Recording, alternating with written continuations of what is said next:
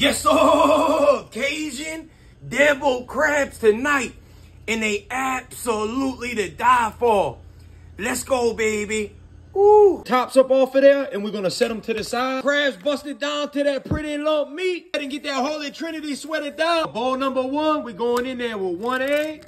A tablespoon of that yellow mustard. Two tablespoons of that W sauce. And get to whipping that thing like a badass six-year-old. In there with that beautiful lump crab meat. Trinity dumped up in there. One cup of them Ritz crackers. Half a cup of that fresh Romano cheese. Fresh parsley. Squeeze in one whole lemon. Go ahead and get that egg mixed up in there. Just go ahead and get everything mixed in. Get them shells and start packing them on down. Italian breadcrumbs on the tippy top. We slide to that dirty motel for a quickie. Oh, baby, they done. My Lord, just look at that thing. You better try it. Ooh.